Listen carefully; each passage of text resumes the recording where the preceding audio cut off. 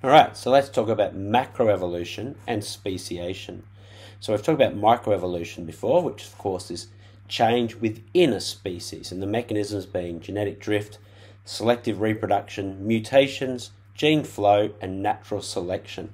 So through those processes, we get a change in allele frequency, and so there's changes within a species. Now, macroevolution is then just an accumulation of those microevolutionary changes such that we achieve speciation. So new species form. New species that are reproductively isolated. Of course, thinking about the biological species definition, organisms of the same species are able to reproduce and produce fertile offspring. So when they're no longer able to do that, they're reproductively isolated and they're different species. So accumulation of microevolutionary change can produce new species. And we talk about three different modes of speciation allopatric, parapatric, and sympatric, and we'll talk about those. So we've got some syllabus objectives that are talking about the modes of speciation, different patterns of evolution. So we've got three different patterns. So we've got three different patterns of evolution or diversification divergent, convergent, and parallel. Let's have a quick look at these. So divergent evolution is when you've got a common ancestor, and but the ancestral species are isolated from each other and they're in environments with different conditions. So they um, they become different enough they can no longer reproduce produce fertile offspring. They're reproductively isolated. And, and so when we've got these divergent this divergent evolution, we often see uh, homologous structures. So same structure, different function. Whereas convergent evolution is where they don't um, share a recent common ancestor, um, but they independently develop characteristics that have a similar function because they have similar selective pressures. And a classic example is that is, of that that we talk about is our analogous structures like the the bird wing and the insect wing, they both allow flight, but they come about it entirely different ways. Different structures, same function. Parallel evolution is where there is a common ancestor, but there's independent evolution of common traits. Um,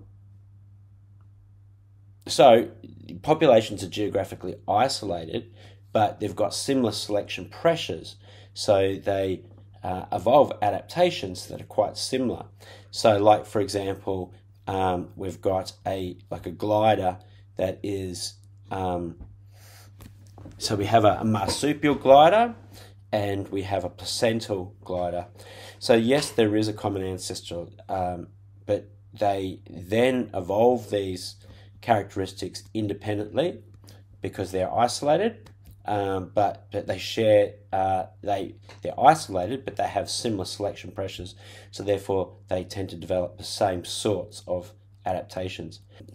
And and the final one is coevolution, where we've got two or more species that uh, the evolution of each species affects the other. A classic example of this is that we've got insects that feed on plants, so that the plants then evolve mechanisms to um, deter feeding, for example, spines, bristles, chemical defences, and things. So, coming back to this concept of speciation occurs through the accumulation of microevolutionary change to the point where uh, populations are reproductively isolated. So, let's look at these different mechanisms um, because the syllabus objective says that we need to understand there's different mechanisms of isolation. There's geographic, reproductive, spatial, and temporal essentially all of these influence gene flow. So let's have a look at what they are. So geographical isolation, there might be a river or a, a canyon or a mountain range. So the, there's no gene flow between the populations. So there's a geographical barrier. But equally, there might be spatial isolation. So they occupy different niches and they don't meet. Temporal isolation is when they reproduce uh, at different seasons. There could also be behavioural isolation, so their their mating rituals and things are, are mean that they they no longer attracted to each other. It may well be that they um, their sexual organs are no longer fit and no longer compatible, or it might be at the gamete level. So both of these could be reproductive in isolation in that um, the gametes aren't compatible, so you can't produce fertile offspring. Right, now we've got modes of speciation. Let's have a look at each of these. So, allopatric speciation, we've got a physical barrier, um, and so there's no gene flow between them. Um, and if they've got different selection pressures, then they're going to evolve um, you know, differently, uh, and they're, they're going to have uh, different gene pools. so we've got a physical barrier pre- preventing gene flow, and with different selection pressures, we're going to get the development of different gene pools. And um, so even if the, the barrier is removed in the future, no interbreeding will occur, and they are select uh, they are reproductively isolated. So parapatric speciation is when you have two populations that are next to each other but they've got different environmental fact, uh, conditions and there is gene flow between them, but there's non random mating in that individuals are going to mate with the individuals that are, are closest to it. Because they've got different environmental factors, we're going to see different adaptations develop uh, and different gene pools. And lastly, we've got sympatric. Now, this occurs within a um, within a geographical area that's got the same uh, the, the same environmental factors.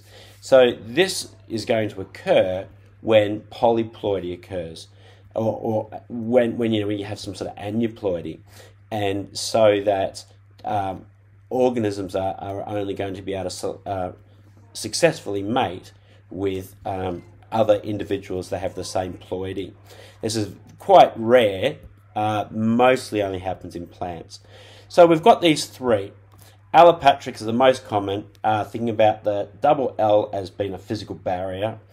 Parapatric means next to, and sympatric means within, and this only occurs when this um, uh, aneuploidy occurs.